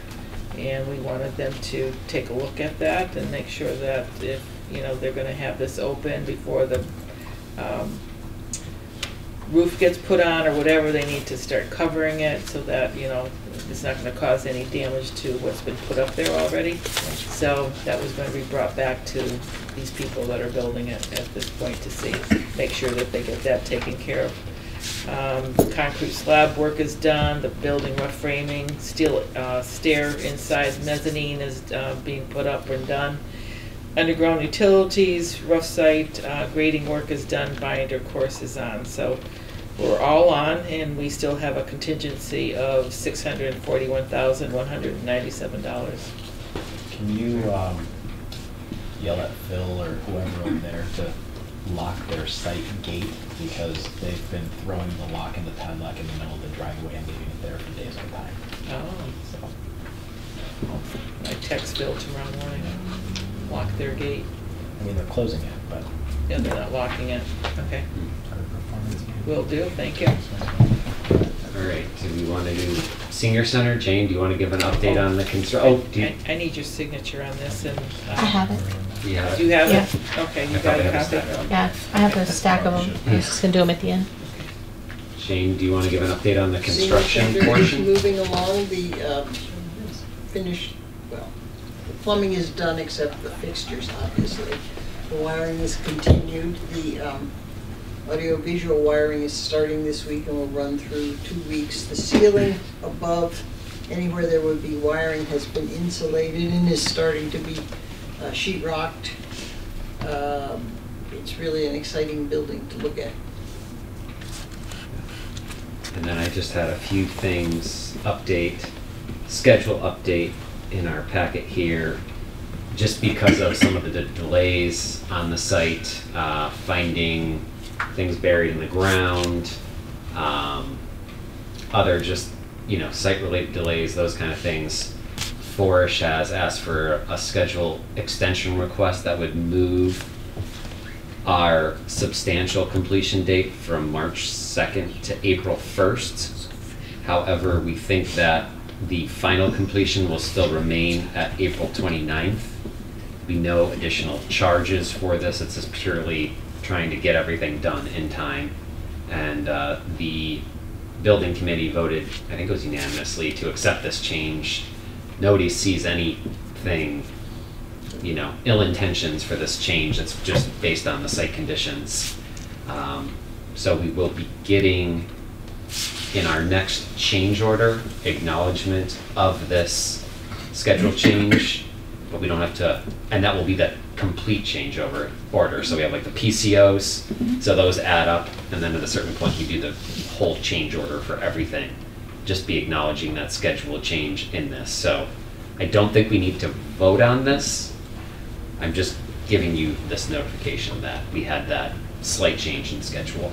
Do you want to vote on the schedule change, so that way, I mean, that's, sounds pretty straightforward. Yeah, I mean, we had 60 days between substantial completion and final completion, and now we only have 30 days, but it doesn't, it- everybody feels pretty comfortable with it right now. And a big reason too is the paving can't happen until mid-April. right? Yeah, until the frost is So, on the ground, um, you know, that, that's one of the big things. Do you want to vote for it? Sure, yeah, we could vote for it. uh, January? Yeah. All right, motion to approve the substantial completion date change to April 1st. Second. All those in favor? Aye. I, I think we ought to make it clear too on the sprinkler system from last week. I wanted to do that too, yes, I did want to do that. Because there was a Yeah. discrepancy there and speaking with the That- fire chief. That was on the that. next thing on my list Thank here, you. so thank you, Joyce. Yeah, I Thank you. did want to clarify last week if it came across that the fire chief was going around and saying, we need this here, we need this here. It was not anything like that. It was purely, there was some confusion on the design side. Uh, It's, I met with Phil and the fire protection engineers and the fire chief this week to kind of go through the whole thing, and there are it, it's a lot of steps between the actual design and the installation. Uh, the fire chief had been given some drawings that were incorrect. And then when he went to look at the site, he noticed that, you know, there were discrepancies between the design, what was actually there. So what he came up with were code violations that he found that they needed to do to increase the safety of the building. It was nothing about him with his own agenda doing anything. It was purely meeting code, so, um, So let he's me put a this great in, job. let me put this in, in straight language here. It was Yeah. another oversight by the engineers. Is this correct? I know you don't want to admit that, but I- that's what happened. Yeah, yeah, yeah. So we need, we need to put this on the list. list for the end of the year of what we're, How much are we holding on this project? We did just get eight thousand dollars back from the engineers. No, for the final, for the final on this project, how much are we holding back that we were going to be negotiating with You mean the all of final these? payment? Yeah, final payment. Retainage is usually five Yeah. percent. Oh, Okay. Okay, so we'll have discussion. Yeah, we can at discuss it at that this point, project. so. Anyway, it was not the fire chief's fault, it was Thank more you. on the design side, so. Thank you. Anyway, Glad we that. clarify that. So who's got the running tally? Oh, I've got a list. Don't worry, we're keeping track of Got a it. list. I think I have it here somewhere. Um, then we had three PCOs, downspout boots, insulation work, rift cut wood doors that the finance subcommittee approved this week. They're all add up to less than ten thousand dollars, so, um, those we did vote to approve. And I'm just seeing if I have anything else. Oh, yeah. one other thing, but we'll talk about that later. Um, I think that's everything. Is that So- everything? So you just need a vote on the uh, change orders that were already approved? Is that, I, I don't know how we're handling that when it's under the amount. I think they were supposed I to think bring it to just- us, right?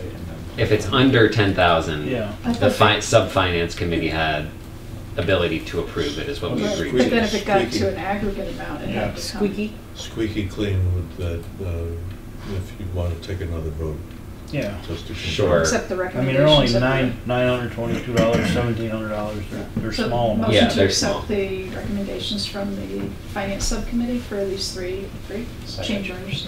I'll second that. And they are, okay, PCO nine R one, I'm just gonna read them, um, for the minutes, but Yeah. PCO zero thirty-one, PCO zero thirty-two. All those in favor? Aye. Aye. All right, thank you. Oh, no, one more thing, I'm sorry, there was one more thing.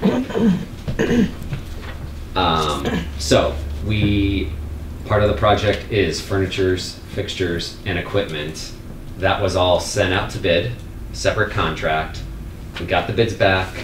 Um, the low bid was hundred fifty-nine thousand, five hundred seventy-six dollars and forty-four cents from Interscape. Um, I believe the budgeted amount was hundred ninety-five thousand that we had in there. And so we just need to vote to enter into the contract with Interscape to provide the, this furniture to the senior center. So are you saying this is the first thing since shovels have been in the ground that came under budget? Everything's under budget. So Motion moved. to approve. yeah. Second. Okay, all those in favor? Aye. Aye. All right. I think that's all. So, um, quick update on the library. Um, Well, first of all, ladies and gentlemen, if you haven't driven by, we have a building. Yeah. So, um, you can see the uh, tariffs at work, so our steel, steel beams are going up uh, right now, um, based on the update we got at our library building committee meeting the other night. Um, Everything's on schedule. Uh, You should expect to actually see that that beam work will continue for a while, um, and they'll, what was explained to us is that they will immediately start trying to close the building up. Um, so there's a whole process for that, and they'll do the best that they can, you know, given the possibility of inclement weather and all of that, but, um, should be obvious that things are moving along pretty well. Um, and we've spent far more time talking about the color of the mullions and mun- munions? Munions. Yeah, that was, that was a great conversation, only to find out that there was more information and we have to have an emergency meeting to continue that conversation. Um, but all is well in that regard. So, um, you know, no, at this point, again, we don't have any change orders or anything that need to be discussed. Uh, Fundraising continues to go along well. I think the bulk of it was reported at the last meeting, but, you know, uh, more um, contributions are are rolling in, so that's, that's very positive um, in that So East regard. Hampton Savings Bank went went toward that? Easthampton Savings Bank was a part of it. Um, I think the biggest one so far is People's Bank uh, gifted, uh, or is giving us fifty thousand dollars over a five-year period. Is that right? Yeah. Um, And yeah, and then, you know, some generous support from the community members and, and local businesses as well. So again, I would imagine, especially the, like the visual, when people actually see it going up, it'll remind people. And uh, so we hope that that positive experience will continue. Um, At the last meeting, uh, we talked a little bit about the library and senior center rental um, agreement, but we were talking about this opportunity for the library to secure a hundred thousand dollar grant. um, And be um, really predicated on the lead certification and having the solar um, would go a long way in solidifying that. So uh, at last week's meeting, we talked about um, going back to the town treasurer to find out what the actual accounting numbers are. So Linda graciously put together uh, that information for us.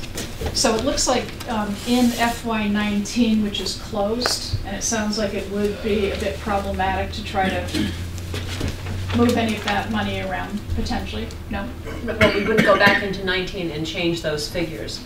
What would be, a- a- we could, a- and the, the amount paid in 19, in fiscal 19 was the three months at the 5,650 rate, which was almost 17,000, $16,950. Right. So when your question was, can we go change, can we change 19? No, we can't change 19. What we can, what we're hoping we can do is in 20, do a reimbursement to, so it would all stay in 20, and the end impact would be the same, uh, just a technicality. And, um, and then you asked if I was sure that we could do this. I actually did write to the auditor, I sent an email. Um, We don't really have the, the full level of accounting access that we used to have, and we're, I'm trying to, I've been trying to get an answer there, um, and I did write to the auditor, and so hopefully, um, we, we can be told, sure, even though it was in nineteen, yes, you can take care of that in twenty, because we're doing, we're dealing with capital articles and the town's own money that the town has borrowed for these purposes. Um, and you're talking about a purpose that could, uh, um, rightly come under either of the articles in the first place. So I've expressed it as a, um, as a, as a cash flow issue, that one, one budget coming in tighter and just seeing if we can do a, um, a correction at this point, an adjustment within twenty for the nineteen expense. So, you know, I, not hundred percent on that, but that's what I'm going for. So the, the total dollars we're talking about, um, it's fifty thousand and twenty dollars. So as Linda said, it's the three months from FY nineteen, um, then what has been paid as well as what would be expected to be paid um, prospectively. So again, you know, I think given, given the level of contingency remaining in the senior center, to the extent it looks like it's not gonna be harmful to them, and it can only help um, secure that hundred thousand dollar grant. And, there- and on the side of full disclosure, I mean, it's, it's possible that we could get the grant um, anyway, but why, you know, in my mind, why take a chance? It just seems like a no-brainer. Oh, yes. So I- Well, I was just waiting to see what you said. So I'd like, I'd like to make a motion that we effectively change the accounting um, for the rental space paid to uh, the parish center on behalf of the senior center to um, no longer come from the library funds, but be drawn from the senior center building project budget. Second. You said no longer be, do you also, are you gonna do a separate motion, or do you need, mean that to include also and to effectively? And to effectively restate what has already occurred, To the extent allowed. to the extent allowed, right, right? Right, because if you could come Got back it. and say, no can do on that, and that would, Okay, any other discussion on that? All those in favor? Aye. Aye. Aye. All right. Thank you. Um, we never actually offered public comment, Oh, yeah. Is there anyone here for public comment tonight? Thank you for pitching that. Anybody want to say anything? Linda? Um, Thank, and thank you, Linda, for getting these numbers and working through the accounting. I was gonna say that after that. and Do appreciate that and our current state. Thank you for. Oh, sure, we have, we have a lot going on. Um, With your not meeting um, for, was it four or five weeks, we are spending a lot of money right now, and I know that we have the standing policy that, uh, that we pay bills based on David, mine, and the accountant's signature. Um, I, this, so this is gonna be a lot more than usual going out over the next five or six weeks. So I would ask that pay Uh-huh. closer attention, come on in and take a look at it. We're gonna be, in this time frame changing accountants. Um, and, um, again, wanting to, I know uh, there's a, a five hundred thousand dollar bill that's gonna happen right now, and it's not, hasn't been paid yet, so that's something that, if you could just check in on those a little more regularly than, than you might otherwise, that would be really helpful. If you can just send us an email when you have a stack, we'll That'd be great. that we can. Right, I would, um, yeah, I will try and get them s- scanned out as I usually do and out mean to you you. don't call with everybody, just particular- me? notes. I- I'll call attention to things. How about that? I'll, I'll call attention more than I usually do. Usually Jennifer just texts and says, where are you? Yeah. And then, then we know that we need to come in. Yeah. With, with hearts and flowers, though, it's very gentle. We will work together. All right. Okay. And uh, town administrator report. Let's have that. Okay, well, we gave a report last All right. week, so not a whole lot has changed. That's Okay. what you always say. Let's see, David, what you'll do tonight. Uh, you, no, Yeah, you no don't need to change? say that. Nothing? We No, don't no, no, need to I- Oh, okay. no So- change, there's not a lot of change. Uh, we, we had our final meeting with the Affordable Housing, uh, Study, uh, people from Pioneer Valley Planning Commission under the DLTA grant. Uh, they're going to, uh, submit a final report. We've, agreed that there's, um, articles that should be presented to the select board for inclusion at the, annual town meeting having to do with, continuing this project. Um, And uh, so this seems to have been a successful effort, uh, paid for by a grant, uh, and addressing some of the issues that were raised jointly by the planning board and the select board. So this is moving forward in a very positive way.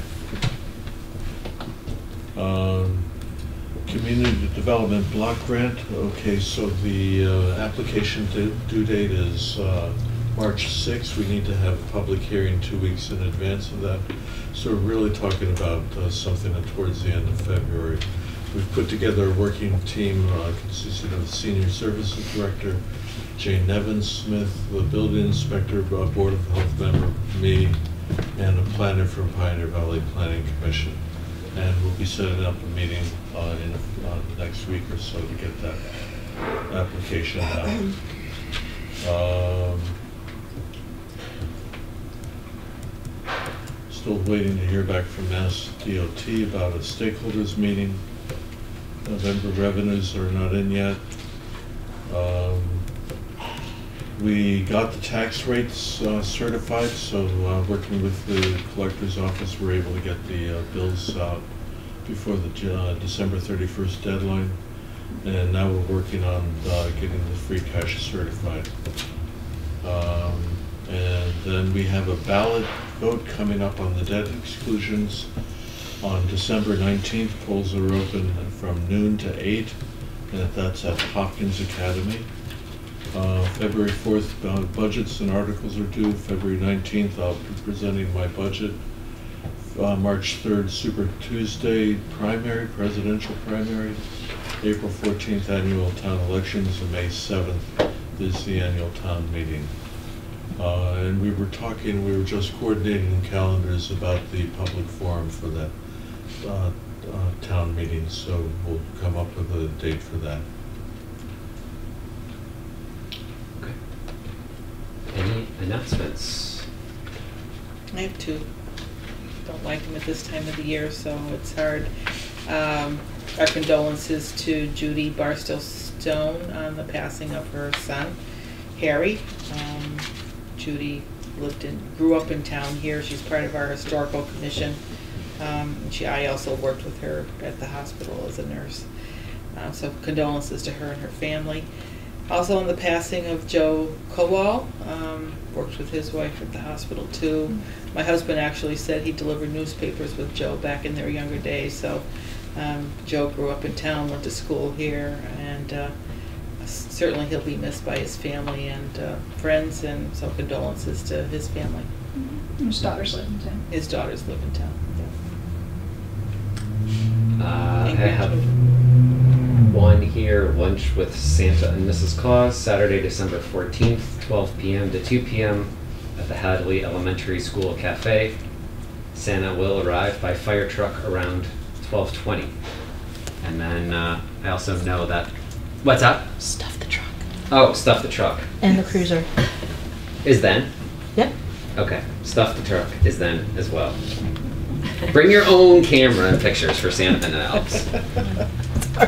I should have read this before. Uh, you did just hand it to me. Go ahead, Mike. Uh, also on Saturday, uh, UMass Police, Hadley Police, Sunderland Police Uh, I think we'll be assisted by the fire department as well. We are doing an event called Cop on Top from 7 a.m. till 5 p.m. at Walmart, where we will be on the roof, freezing. Um, we are accepting toys, we are accepting clothing, we are accepting uh, fu- uh, dry goods uh, and canned goods and food, which we'll donate to various different places. Uh, and we are also um, got some really amazing donated raffle prizes that um, all the proceeds for a donation for it to be entered into the raffle will be going to the Special Olympics. So we're raising money for that, and we're also collecting items for uh, donation for toys, as I, as I mentioned, clothing and, and food. Can you give an example of an amazing raffle prize? There are uh, Lauren. Her Lauren's entire office is filled with stuff. It's it's crazy. There's there's Hotel stays, hotel stays, massage. massages. There's um, I think Sean from Four Seasons is um, doing another one of his uh, Trees. trees, and yeah, there's some good stuff. Well, I saw a blender in there. I mean, I don't even I don't even know what she's getting. Something where you- Honest to God, you get your raffle it's crazy. So we're gonna we're gonna put as much of it as we can. Um, I actually stopped by uh, Dave Bertera's house tonight, a former Hadley officer. He makes those wooden uh, American flags. Oh, yeah, yeah. Uh, he donated one of those. Um, so we're gonna put as much of it as we can out in front of Walmart, so folks can take a look at what they're you know donating for for the. Uh, but obviously the you know the proceeds are more important where they go. So. And this is on this Saturday? This is this Saturday from, s- I think, 7 a.m. to 5 p.m. Okay, did you happen to look at the weather forecast of a hundred percent chance of rain? Uh-huh. Okay, just making sure. It's all part of the fun. So is it? That's, that's the word I use for sure, yeah, fun. Is it Chinese raffle like that, or is it buying tickets I don't know what that is. I'm sorry. Well, I ought to, I had to alert you to what the Uh, we Chinese have- raffle well, There's two different ways you can do a raffle. Um, The way the raffle laws are set up, we're gonna do it in a donation style. So if you donate a certain uh, amount of money, you're entered into the raffle, we'll give you a raffle ticket for it. Okay. Um, We can do it another way, but there's costs involved and they have to get raffle permits and all the other stuff, so. State approval. State approval and everything else. The other Chinese raffle is you buy a bunch of tickets and then you can put them in whatever you want. Yeah, no, I don't think we're gonna do that. We got, there's way too much stuff. Okay. It really is, it's amazing. People, I mean, a lot of the, uh, stores in, in Hadley, they came through big for us, so, or for the Special Olympics. They're pretty good stores, aren't they? You do not have to be present to win. We will take care of that. We'll, we'll do the drawing and, and we'll notify folks. You don't have to go on the roof. Well, yeah, no, that. And if you're buying tickets, take your name, your name stickers, There you return address. Yeah, yeah, make, make sure you put the right ticket, the right ticket. in. What are you doing on the roof? Just Yeah, yeah, it's just kind of a thing that they. do. I, I'll go on the Stand roof wave if, try and if, get- if they give me a lift up on the hook and ladder. Yeah, well, we're, we're still trying to figure that part of it out. That's the thing- That's the part we might need the fire department. I'm not 100% sure how you got it. How's our liability insurance? I know, yeah. Okay, and, uh, yeah, so, uh, you could go to Walmart before or after you see Santa at Hadley Elementary. And the time again is seven to? Seven to five. Seven to five, okay. And Hadley Elementary Santa, twelve to two. Oh, I'm right there. Same day. Absolutely. Mhm. And the uh, kids at Hadley Elementary, their Christmas concert's tomorrow at seven PM, I know that. The Evening one this time, huh? Yeah, well, afternoon too. If you want to go at one or seven. Oh, two of them? Yeah. Wow, Mm-hmm. nice. Anybody else? I was just gonna say the uh, holiday decorations are looking great around town. Uh, it seems to be more than in the past. And uh, Merry Christmas, Happy Holidays. Yeah. Merry Christmas to all of you. This will be our last meeting until, see you next year. Oh, yeah, Happy New Year. All right, so uh, we are going to have an executive session, I believe. Um, I don't know if someone wants to make a motion. Motion that we go into executive session per provisions of Mass General Law, Chapter 30A, Section 21A3, to discuss strategy with respect to collective bargaining. Um, If an open meeting might have a detrimental effect on the bargaining position of this public body, and if the chair so declares, and we are talking about dispatchers. Can I have a second? Second. Thank you. Uh, As Chair of the Hadley Select Board, I state that the board has moved and seconded to enter into executive session, and that I state that discussing the matter in open session will have an adverse effect on the town of Hadley. Roll call vote, please. You're not going to reconvene. Oh, we will not reconvene in open session, Uh, thank you. Waskiewicz? Yes. Fill? Yes. Keegan? Yes. Stanley? Yes. Chadwick? Yes.